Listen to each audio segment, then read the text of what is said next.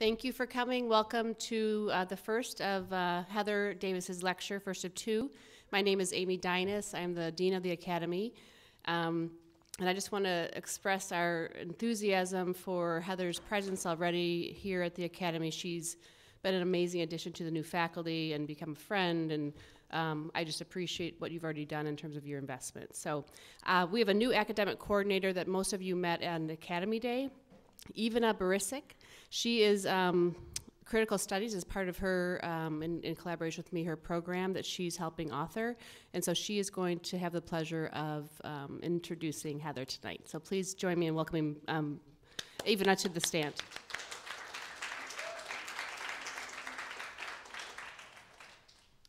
Thank you, Amy. Uh, I'm excited that Heather is here with us. She has been a great colleague in such a short period of time here at Cranbrook.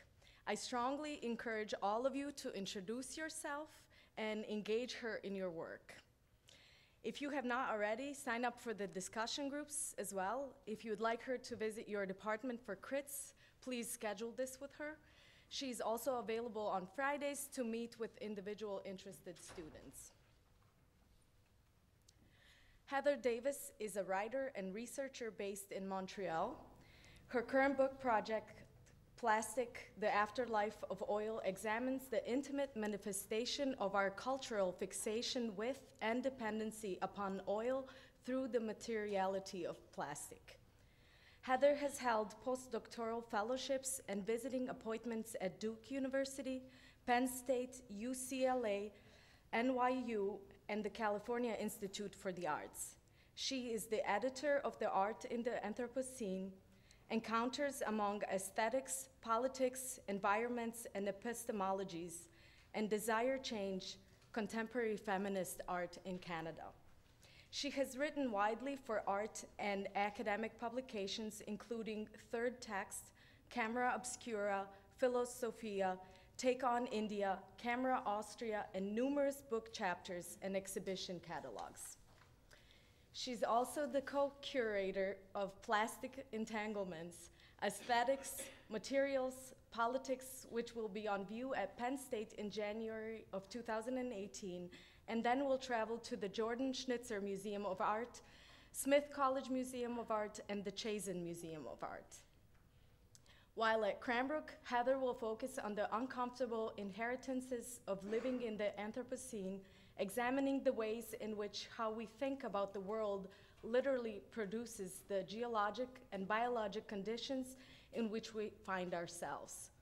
In particular, she will explore the legacies of plastic and white supremacy in producing what has to be known, what has to come to be known as the Anthropocene. Please welcome me in joining Heather Davis.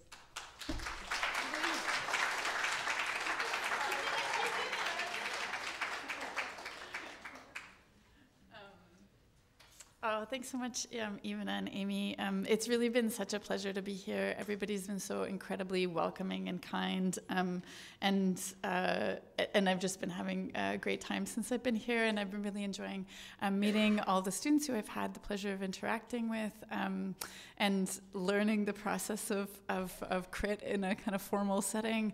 Um, and uh, so yeah, so if I haven't actually gotten to interact with you one on one yet, I hope that that happens soon. Um, and yeah, I'm just very pleased to be here. Um, I wanted to say a couple of sort of um, sort of tangential things before I sort of get going. One is um, just to acknowledge that we are on Anishinaabe territory and that I consider myself an uninvited guest here. And that's just a reminder in terms of uh, the actual ongoing history of how this country came to be formed. Um, and then, sort of, a couple procedural remarks. Um, so, for the discussion group, so for those of you who have signed up for the discussion groups, and for those of you who might have taken a look at the readings, um, if you were at all intimidated by the readings or didn't understand what they were saying, you're probably not alone. So, don't worry about it. Uh, just come to the discussion groups anyway. Um, I'm more than happy uh, to work through ideas with you. That's what I'm here for. Um, and I don't expect you to have any prior knowledge of these subjects. Um, the, the readings that, that I assigned to you really are in the kind of area that I'm going to be exploring tonight. Um, but it's a very specific area of, of interest and study. So, um, so uh, just I would just encourage you all to, to come.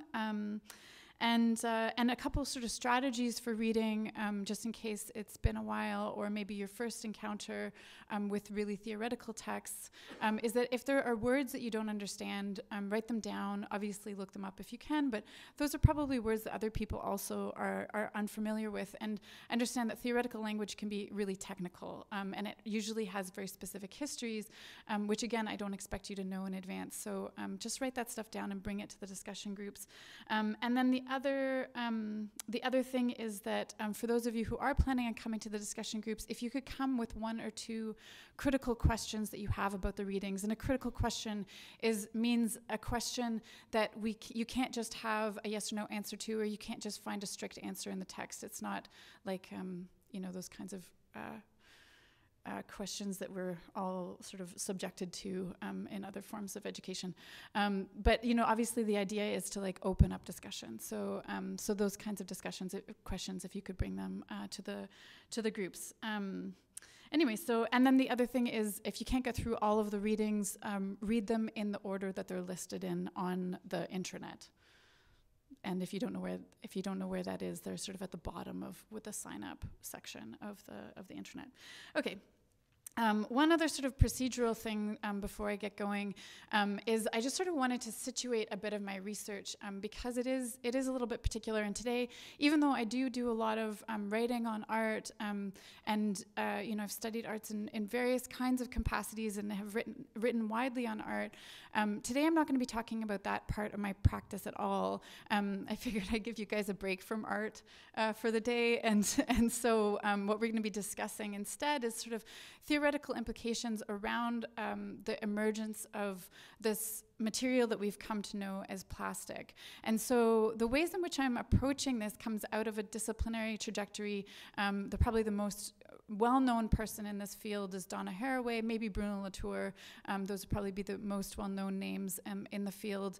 Um, and it's sort of a field. It's a field called uh, I would like to call it feminist science studies, um, although uh, some people just call it science studies. But what I do is uh, feminist science studies, um, and um, and basically, the premise of feminist science and technology studies is to really look at what are the kinds of um, technologies that we've surrounded ourselves with, and how do they, what are the kinds of um, what, what, how are, what are the ways in which those things have emerged? What are the ways in which, what are the kinds of scientific practices or technological understandings that have caused them to exist in the world in the first place? Um, so, what are the kind of um, philosophical premises that cause materials like plastic to exist in the first place, um, because it doesn't just emerge out of anywhere or from anyone. It emerges out of a very specific set of historical circumstances, um, and and then and then how does that then shape the world that we live in? So I'm interested basically in this kind of recursive framework between ideas and materials. So basically, what kinds of ideas produce what kind of materials, and then how do those materials produce different kinds of ideas? Is in the world. Um, so I'm going to sort of go through that in relationship um, to plastic today. Um, and I'll talk for like about 45 minutes or so, maybe a little longer, and then we can open it up to question and answer. Um, also, I'm going to sort of go back and forth between reading and just talking.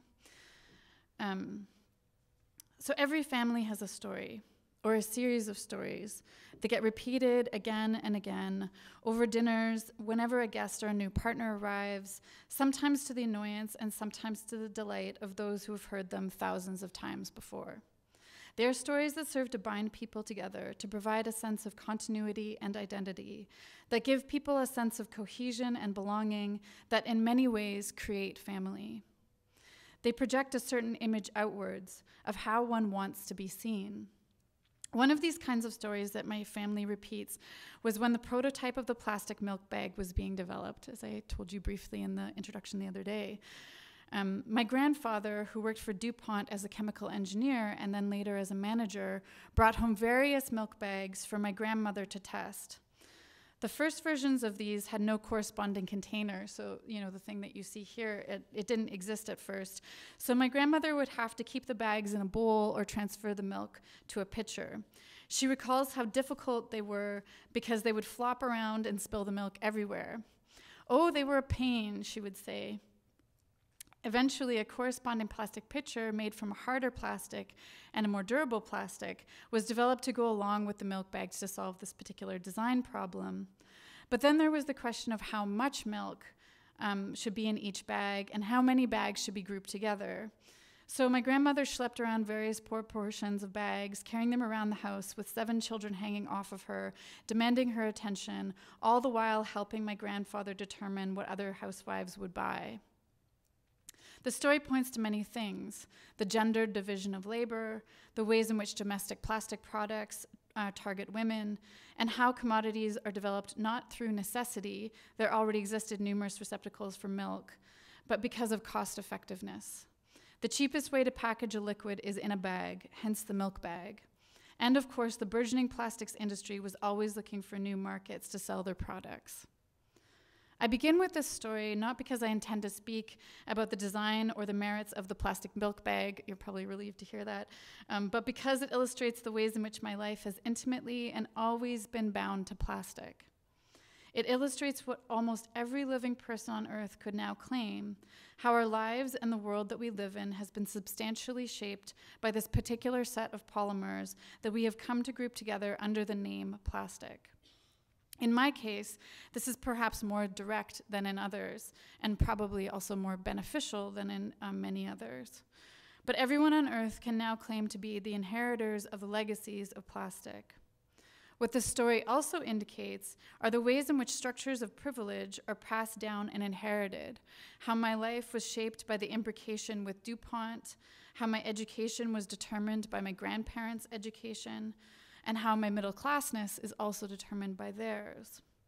This inheritance ties me personally to the plastic industry in ways that speak to my material well being and simultaneously to my unease with this intergenerational affiliation.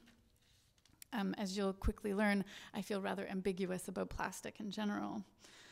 I open with this story to position myself personally with respect to plastic, but also to open up questions of inheritance more broadly. Of the inheritance of worlds that come before and after us, of the ways in which infrastructures and materials are also part of these processes of inheritance, to ask what worlds has plastic created and for whom? So, inheritance itself is a fraught term. I employ it here to speak of the ways in which we become with the world and how the world is in us and of us before we even exist. Inheritance speaks to the things that we have no direct influence over, to the conditions of possibility of our lives, to the intergenerational knowledge and unfolding of matter that connects us to our ancestors and those to come. Inheritance involves the other than human world, the long lines of evolution and effort of so many forms of life from which we emerge. Inheritance speaks to the ways in which we are always entwined with the decisions of others, with their love and hope and hate and fear. I use the word inheritance because it also references how structures of privilege and power are passed on. As a term, it is primarily used to speak of property relations. Inheritance is defined in the Oxford English Dictionary as, quote, the succession to property, a title, office, etc., a coming into or taking possession of something as one's birthright, possession, ownership, right of possession, end quote. The fact that we speak of inheritance in these terms um, of right, of possession, of property is a strong indicator of the ways in which the Western modernist project conceives of intergenerational time. So instead of thinking of inheritance primarily as the things that we owe in terms of to our ancestors or the thing that, things that we owe to those to come, we think of it in terms of property, right? That's a very specific way of understanding what it means to be imbricated with intergenerational um, movements. In this telling definition, we become with the world through our objects, through the objects that both acquire wealth and sentimentality in a linear and progressive fashion. Inheritance in these terms assumes a primarily sedentary existence, one that represents an unbroken lineage, not disrupted by war or famine or slavery or colonization. I remember talking. Um, uh, with a friend of mine who was like whose family originally was from Somalia, and she always joked. She was saying like, you know, like our people, we don't we don't inherit belongings. Like we have no like antiques to pass down from generation to generation. Our people are nomadic. We don't do that. And so this understanding of the ways in which we think about inheritance in these terms is very culturally specific. Inheritance is also about the ways in which filial relations, patriarchy, and race are all intergenerational unfoldings that tend to shore up rather than redistribute privilege. Inheritance is also about coming into what precedes you, becoming who you are through your ancestors, as in a birthright. In this, it also has genetic overtones, how particular traits or characteristics are passed down through DNA lines. So I'm going to take up this question of um, genetic inheritance at the end of this talk in a, in a kind of strange way.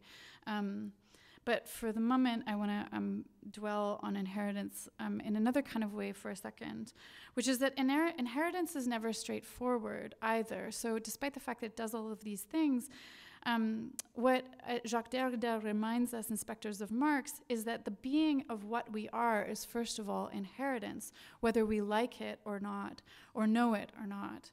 So, regardless of what we might think of the kinds of inheritances or the kinds of worlds that we're, brought, we're born into, we are that world. We cannot separate ourselves from what we are. Therefore, we cannot simply choose to accept or reject our inheritance as they are integral to our very being itself. It is possible, obviously, to continue to choose parts of our inheritance um, that are open to transformation um, and to reject other parts of our, of our inheritance. This is obviously part of how intergenerational time unfolds. Um, but the inheritance itself is constitutional. So, with respect to plastic, and I realize this might be a funny way to talk about plastic, um, but I think it's uh, really informative, uh, which is that when we think about plastic, we do not have a choice about whether to live in a world with plastic or without plastic, for example. In fact, regardless of the decisions we make now, we don't even have a choice about the legacies of plastic or plastic pollution, as most plastic does not biodegrade. So it was the decisions of people like my grandfather that created the inheritances of people many, generations into the future. So many generations of people who have not yet even been born or even thought about uh, the possibilities of being born. And regardless of what we choose to do about plastic pollution and manufacturing in the present moment, we will be stuck with the fact that plastic has already permeated our bodies and the biosphere. In this sense, the question of inheriting the world of plastic is not a choice because we can neither accept it nor reject it. Instead, it is a material that is now foundational to the world that we live in and constitutive of our very being. In other words, we cannot extract ourselves from plastic, either materially or ideologically, because it, it creates the conditions of possibility within which we make decisions to begin with. So, plastic already structures the choices that we might make about it. Um, so, in relationship to um, this other material that's obviously important to plastic, um, uh, is um, a theorist who speaks a lot about um, petrocapitalism. And what he says, I think, is really important. And we can think about this in relationship to plastic. Um, but obviously, sort of, I'm, I'm, interested in the ways in which plastic is kind of an intimate manifestation of oil. but what I think what he says is really important, which is that what if oil is fundamental to the societies that we have now? What if it shapes them in every possible way at every possible level, from the nature of our built infrastructure, from the objects we have ready to hand, to our agricultural and food systems, and from the possibility of movement and travel to expectations of the capacity to move and interact. So, in other words, the ways in which these technologies um, unfold in the world is that it's not just that they allow us to have particular kinds of things that we couldn't have in the past. And I think, like, you know, there's a really strong argument to be made for the fact that, you know, plastic has fundamentally shaped the 20th and 21st century. Everything that we sort of think about in terms of being modern or being contemporary or the things that differentiate us from previous generations, things like um, computers or the internet or uh, airplane travel or globalization or the access um, to goods and foods from halfway across the planet. All of those things are fundamentally dependent upon a material like plastic. If, if plastic were to suddenly vanish, um, many of those kinds of infrastructures would also vanish along with it. Um, so the ways in which, and, and, you know, like if you try to think of yourself outside of the internet, it's really difficult to do, right? Like, I mean, I would have to fundamentally kind of um, you know, I could still be a writer, but the ways in which I would actually be a writer, the conversations that I'm involved in, the people that I know, none of those things would be the same. So this is what I mean when I say that plastic is constitutive of who we are now, and we can't just simply decide that we like it or we don't like it. it that's not and for, it's not that simple for, for better and for worse. So it's that it's that our expectations have actually changed in relationship to technology, not just that our capacity to be able to do things has changed. Okay, so I'm gonna uh, take a little bit of a step back now and actually um, sort of address some sort of maybe more basic questions, um, which is what do I mean when I say plastic? So, as you know, um, plastic um, is um, a term that can be used in many kinds of different contexts. And the ways in which I use it are primarily for um, petroleum based polymers. So these are kind of traditional plastics, the first of which um, was Bakelite, and it was created in 1907 and patented in 1909, um, which I think is a really good thing to remind us because even though this material has now been con- now constitutes the kinds of people that we are and the kinds of ways in which we can interact with the world, the, really the nature of our lives in general. Um, it's, uh, it's it's quite a recent material. It's not it's not an old material at all. Um, there's precursors that go back uh, before that, celluloid um, and other kinds of um, materials um, date to the mid 19th century. Um, but but plastic that that um, is composed um, primarily from either um, natural gas or oil, uh, that only started happening um, in 1909 um, in terms of a, a mass product. and even then, it took a while for it to take off but now obviously we have a number of, of things that are actually grouped together under this term plastic. So literally plastic when i talk about it really is just kind of like it's a set of molecular structures. It's not a particular quality it's not a particular property it's not a particular object. It really is just a set of molecular structures that is able, as we all know, to, to transform into so many different kinds of materials. Things that seemingly on the surface have absolutely nothing to do with one another. I mean, what does a PVC pipe or Tyvek wrap have to do with like your tight jeans? You know, so um, so these are the ways in which I'm thinking about what plastic is. Um, and um, so some other things like so other things that, that I think are sort of foundational to what um, we need to know about uh, plastic um, is that obviously despite the fact that like that we can't we can't just get rid of it. And plastic um, you know I'm not really going to say this very much in the rest of the talk so I should probably just say it now which is that like which is plastic obviously has all kinds of very very good attributes right? Like like you know we like medical technologies that use plastic. That's extremely important. It's life saving in a very literal sense. Um, you know, the ways in which plastic can be used in terms of infrastructural environments are really kind of unprecedented, and the kinds of architectural projects um, that some of you may be involved in, those kinds of things are really kind of impossible without a material like plastic. Um, so it really is a fundamentally interesting material, and it's also a material that opens up the, the possibilities for thinking about form in a completely different kind of way. So I think that there's all kinds of really interesting things about plastic. Um, but I'm going to also focus on some of the ways in which um, plastic has, has come into existence and then created worlds that we maybe um, didn't expect or want in relationship to it. Um, and so part of what that part of what that means is really um, thinking about um, what what plastic is actually made for. So 50% of all plastic is made for disposable applications such as packaging and about a quarter goes into long-term infrastructure um, such as pipes. And then 40 million tons becomes textiles like nylon and polyester. So that's sort of the breakdown of, of how plastic actually circulates in the world. But i think the fact that 50% of it goes into packaging is something that we really need to pay attention to. Um, and i'll come back to this at the end of the talk.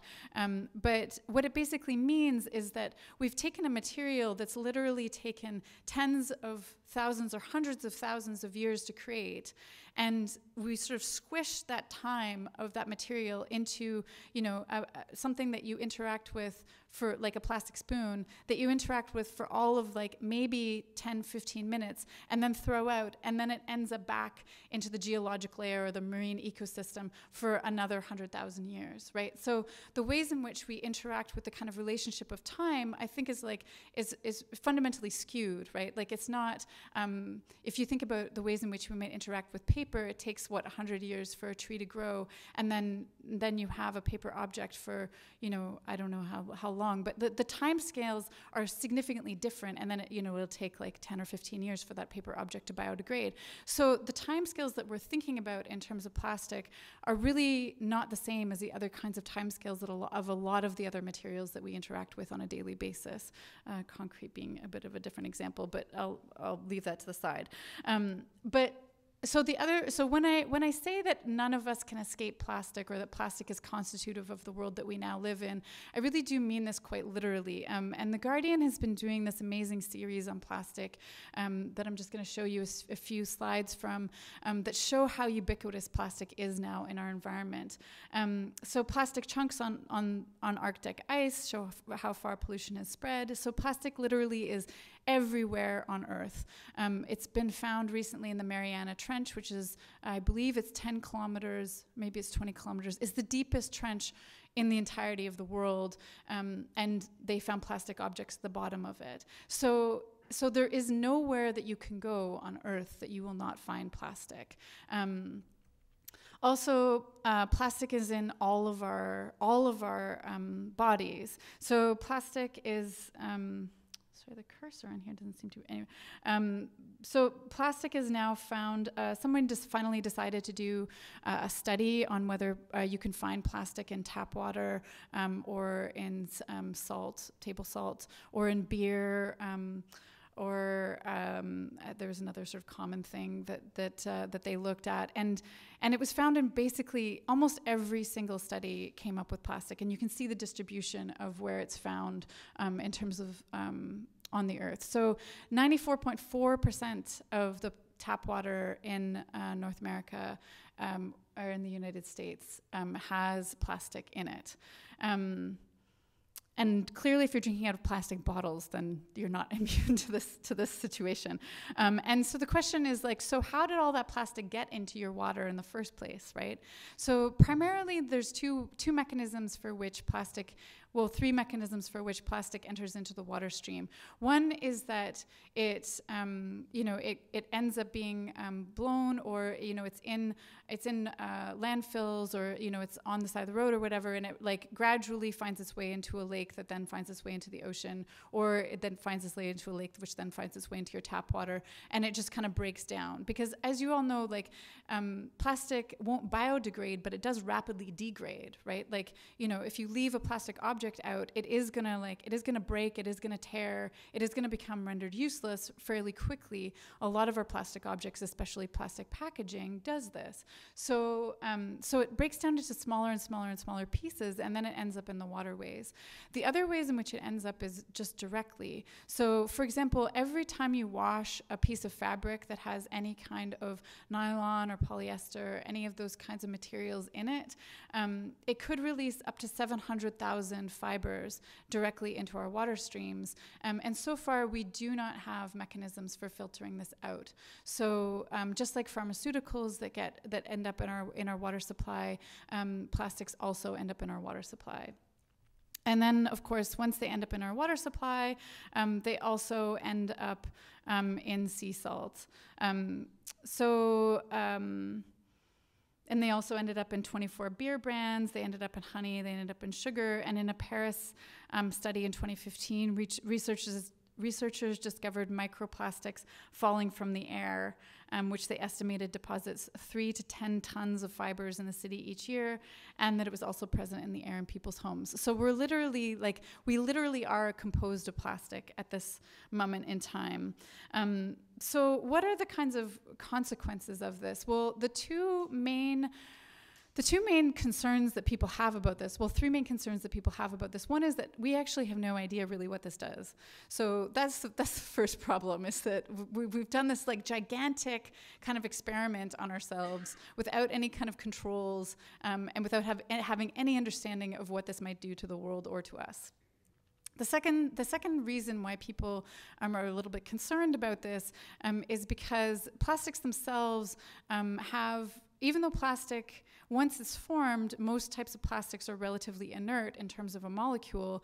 The plasticizers that are attached to plastics, so um, you know things that make your um, you know, the plastic like pink or heat resistant or um, bendable, any of those kinds of attributes, most of those things are actually not the plastics themselves, but rather plasticizers that are added onto um, plastic. So, you know, when you get in a car and it, it smells like new car smell, it's just plastic off gassing. And that off gassing is actually the plasticizers just going out, the plasticizer molecules just going out into the air. And many of those plastic uh, plasticizer molecules have been linked to all kinds of problems um, with human health. Um, and I'll get into um, BPA a bit later, which is probably the most notorious of all of these um, of all of these plasticizers. But uh, but many of the other, but most of these other um, chemicals that are added, there's up to 80,000 that could have been added. Um, and the EPA actually has this policy of it's, they will not test in advance whether the plasticizers are okay for human health or, or animal health. They test after the fact. So you have to prove that, you have to prove that the chemical is harmful rather than prove that it does no harm in order for it to be taken off um, consumer markets.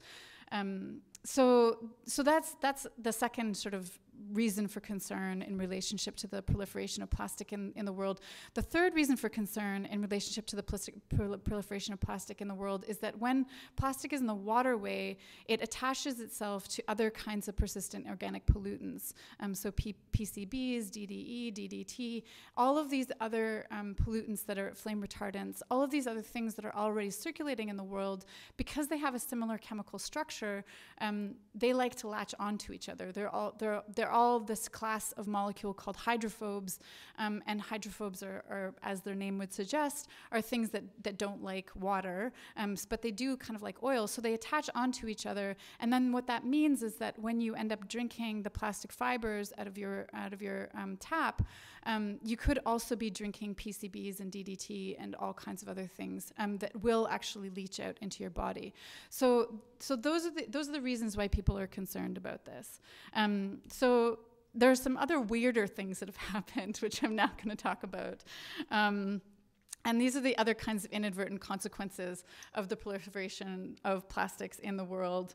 Um, and the first of these is um, something called the plastosphere. And the plastosphere um, is a term that was coined in 2013, and it's a new marine ecosystem. And so this new marine ecosystem um, is an artificial microbial reef. So it's a reef of microbes and bacteria and viruses that really like to hang out on bits and pieces of plastic that float in the ocean. Turns out this is a really great environment for them, and, and it's a particular community that doesn't exist in any other kind of ecosystem. Um, so they float around on uh, these pieces of uh, plastic, and no one's quite sure exactly what is happening yet on these pieces of plastic with this kind of combination of of microbes. Um, but that's that's what they do. Um, and, uh, and what, I, what I think it indicates are the ways in which nature and technology are always entangled together. We sometimes like to think of the fact that, like, you know, we humans are doing something somehow off in a corner of, of, of the, of the earth and it's not going to affect the other creatures. But rather, but that's just simply not the case. Um, and this is one of the ways in which um, is shown that, that that isn't the case. The other, the other thing is that um, waxworms, there's a particular um, type of wax waxworm that is now um, developed to be able to eat polyethylene. And when I say eat it, what I mean is that it successfully digests it. So it turns it back into its um, original component molecules so that it's no longer actually polyethylene. It's, it breaks it down into, into methane and, and other, um, other molecules. And, and, um, and what I think this is, what I think what I think this indicates is the fact that you know we think we think that these technology these basically what's happening is that plastic is is now become a driver of evolutionary change. So when we say things like plastic is going to take 100,000 years to break down or 10,000 years to break down or 100 years to break down, what we're actually saying is that it's going to take 100 years or 10,000 years or 100,000 years for an organism to evolve that can su successfully digest plastic. So that's what we actually mean when we we say these things. And then, and what we've done is we've inadvertently kind of pushed evolution in certain kinds of directions in order for these kinds of um, mainly bacteria to proliferate in the world, um, probably quite happily. Um, uh, in relationship to these kinds of chemicals that are that are now sort of ever present. Um, so another like um, so sort of returning back to um, the question of, of the kinds of plasticizers that we have in the world. Um, one of them um, that I'm sure you've all heard of is BPA. Um, and just so you know, whenever you run across a bottle that says it's now BPA free, most of the other plasticizers that they then um, replace the BPA with in order to create the kinds of qualities that they wanted to have in that particular container are also phthalates. So they're also the same types of chemicals that have the same kinds of properties that BPA does. And the reason why BPA was a problem problem to begin with is because in studies of human health, it's been correlated with infertility, recurrent miscarriages, feminization of male fetuses, early onset puberty, obesity, diabetes, reduced brain development, cancer, and neurological disorders such as early onset senility in adults and reduced brain development in children. Um, so uh, clearly, this is a large number of, of, uh, of things that affect human health. And the way in which it goes about doing this is because phthalates have, have this um, chemical structure that mimics, um, that mimics estrogen. And so when we, think of, um, when we think of a class of chemicals called endocrine disruptors, what they do is that they have a really, they have a very similar chemical structure. And so the body can't tell the difference between estrogen and BPA. And so it absorbs it into its system and then it does all of these other things. And when you when you disrupt your um, hormonal system, it has all these other effects that I just outlined. Um, and but what I'm what part of what I'm interested in is the ways in which then things like um, uh, BPA uh, are then become the they, they become an integral part of the process of sexing, um, and what I mean by that is you know, the process by which we understand the differentiation between sexes. Um, uh, and uh, by way of the kind of interference in the hormonal system. Um, so this this is the part where then um, we get into uh, what I call queer ecologies, and the set of readings that I gave you for um, the discussion groups really focus on um, this particular kind of um, understanding of the world. And queer ecology is just two things. One is it's drawing from queer theory to really think about how do we think about the world in a more complicated way. Um, uh, drawing from the kind of resources of queer archives, drawing from understanding sex and gender in a really complicated uh, fashion, um, and also uh, really trying to think about how do we approach this kind of the, the world that's already contaminated in a way that doesn't revert back to a kind of purity politics, right? So it doesn't revert back to I'm just going to enclose myself in my house and pretend that none of, none of this is happening as if that were even possible at this moment. Um, and so it really it wants to take the the kinds of resources that are available um, through queer theory um, to really think about think about what can be done. Um, and so one of the ways in which I enter into thinking about queer ecologies is to think about this relationship um, of BPA. So one of the things that I highlighted about what BPA does is that it can modify the sex of humans and other creatures right? And what I mean by that is that it literally does have um, material effects on um, the human body that um, that make um, that make people less. Uh, gender binary, so so that like so for example, um, men men's bodies start looking um, more like women's bodies, and uh, and and one of the things that's really interesting and to me when I was doing all this research around this question is I came across this really amazing quote um, by a researcher called Max Liboiron who put it very bluntly, which, and she said, um, so the LGBTQ um, community has said that um, that mutations in relationship to, gender expression are something that we're okay with, but also so has the petrochemical industry. So, how do we think about that kind of very odd alliance? You don't normally necessarily think of queer politics and the petrochemical industry as sharing the same values, right? Um, or I don't. Um, so, I wanted to explore this kind of odd convergence of politics made from radically different interests. Um, and so, that's the reason why I'm, I'm I'm sort of focusing in relationship to something that I'm calling queer ecologies. Um, and I also wanted to use queer theory um, and queer family formation, which often does not rely upon um, biological reproduction, to think through how we might live in an increasingly to toxic world. So if we don't assume that our kin are strictly those who we are related to biologically, and more ex expansive understanding of our interrelations or entwinements and obligations might be might be fostered. So, in other words, thinking about um, the fact that for a lot of queer folks, you can't necessarily, like, your family isn't necessarily the people who you are biologically related to um, because of you know the histories of historic homophobia and the ways in which the way and and I think that one of the things that's really amazing is the kind of vibrancy of family formation that has come out of queer communities.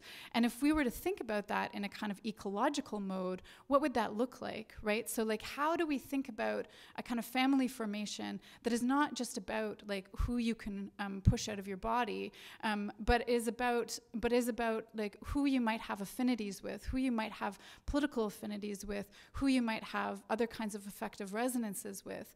And and in a lot of queer theory, people want to think about this beyond the human as well, right? Um, and I also want to think about the ways in which um, we could even think about something like the plastosphere or um, waxworms as the inadvertent human progeny. So, as all of these chemicals that we're putting into our environment, um, one of the other statistics that I that I haven't mentioned, um, but that is probably important to say, is that human fertility rates have been dropping quite dramatically since the 1950s. Although clearly we're still doing a good job of reproducing, so that's probably nothing to worry about. But but uh, but but um, but they have been dra- drastically dropping um, in terms of um, fertility rates. And so, and so, if our fertility is incredible is is is decreasing, while at the same time we're sort of inadvertently creating these um, bacterial organisms and these bacterial communities, then can we think about those bacterial communities as our kin, right? Can we think about those as our progeny rather than our children, right? Um, and so those, and if and if we take this thought seriously.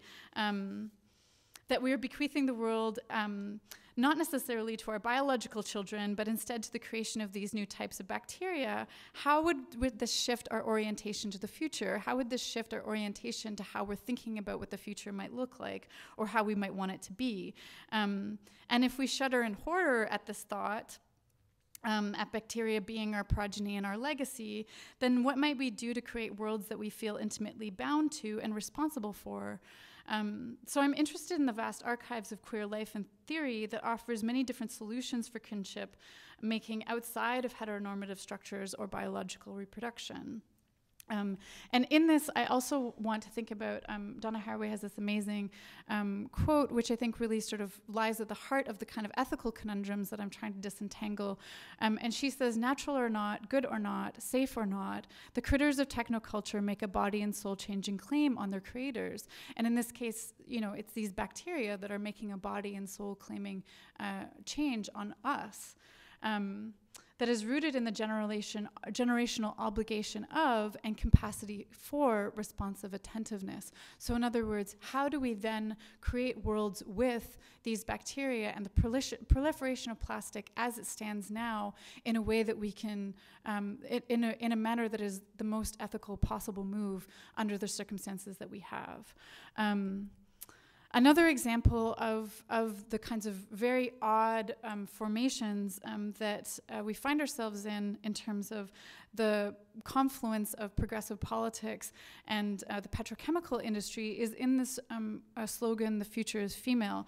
So I'm just going to tell you like a really brief story about a place close to where um, I'm from, well, actually, also close to here. So near Sarnia, Ontario, um, which is Canada's chem- chemical valley and is sort of the very southern part of Ontario, um, which I believe is just sort of across the river from here, although I have terrible geographical sense, so maybe somebody should look that up. Um, they have documented a severe reduction in male birth rates. So, environmental justice activists in the Aamjiwnaang um, First Nation have worked with local doctors, scientists, and lawyers to document the first known case of a dramatic reduction in birth ratio of boys to girls that is not associated with a specific acute industrial or nuclear accident. Between 1999 and 2003, of the 100 bo- children born in the community, only 35 were boys. So um, when people now say the future is female, um, they might mean that quite literally. What is particularly striking about this case um, that um, science studies scholar Michelle Murphy astutely documents is the ways in which the harms of chemicals associated with the plastics industry are not immediate, but rather operate through a temporal lag.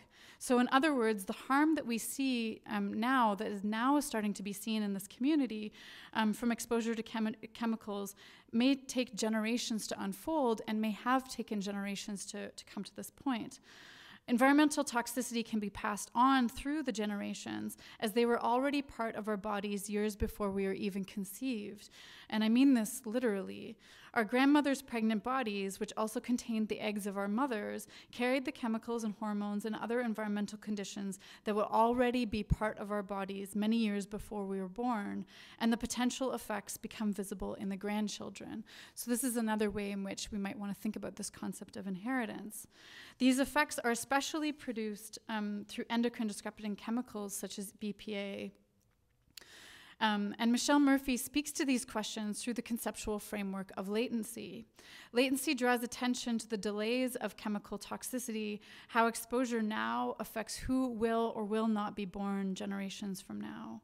Murphy writes, quote, to be latent is to be not yet, a potential not yet manifest, a past not yet felt, end quote.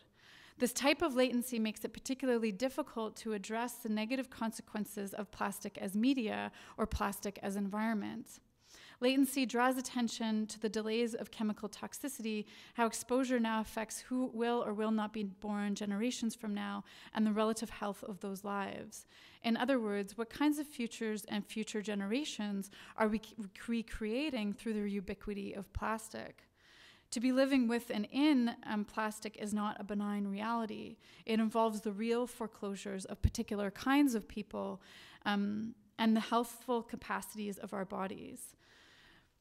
So, um, to not be too depressing, um, and also because, and also because uh, um, normally I don't actually do this at the end of my lectures, especially when I'm talking about plastic. I don't actually sort of address this question of like what can we do, um, but I, I figured that th- that this audience is like really specific. Like I mean, many of you work with plastic all the time. Many of you um, are designers. Um, so so I wanted to actually address this question of of what what can be done.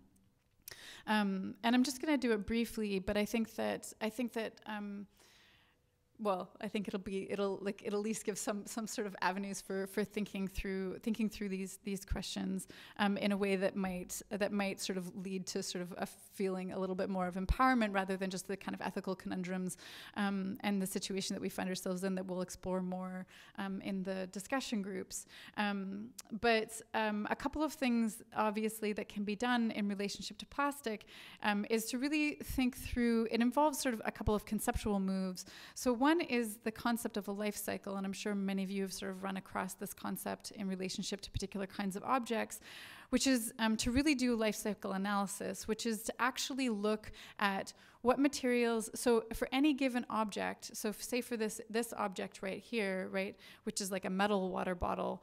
Um, where did it have to be mined from? Where did the metal have to be mined from? What chemicals were used in the process of mining? Whose bodies were used to mine that object? Then, then how did it get manufactured? What is its lifespan? And what will it? What will it? Where will it end up?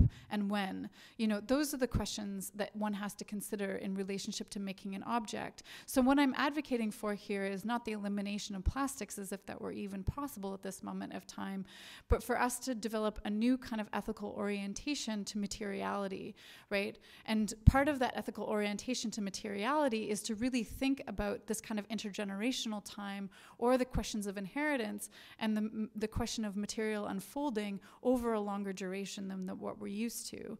Um, the other things that, that sort of are a kind of much more sort of pragmatic than, than I normally um, am are things, questions around things like the circular economy. So thinking of all waste as a kind of resource. So what are the kinds of ways in which um, any kind of waste product could become a resource? So instead of just like right now, um, it, it's something like 75% of plastic just goes straight to the landfill. Um, and so, even though we could be recycling plastic, which I mean has its own uh, structures and problems with it, um, we don't, right? So, so that, I mean that's the other that's the other the, the, other kind of question, and some of that is actually um, a design problem. So, for example, like if you have a difference between a green plastic bottle and a clear plastic bottle, the green plastic bottle, no recycling plant is ever going to want to take that. It's a pain to recycle you can't recycle it with the other materials. Um, it's very difficult, um, etc. Also, when you mix materials, so you know, like when you get like a coffee cup from Starbucks or wherever, and it kind of looks like it's cardboard, it's just coated in plastic on the inside, and that is actually more problematic than just a PET um, container because because you, ha- you you have a mixture of materials that are not going to get separated out right? Nobody is going to take the time to separate out those materials and then in, recycle them individually. So really thinking about the ways in which um, products are designed from the beginning with this kind of larger notion of both waste as um, as an infinite resource, and also um, that uh, that we have to think about the entire life cycle of a product. Um, I think actually can really go a long way to think about how we might reorient ourselves to the material conditions in which we find ourselves in, and go some way to to ameliorating um, the kinds some of the concerns that I brought up today. Um, so I'm going to stop there, and we can open it up for a question and answer.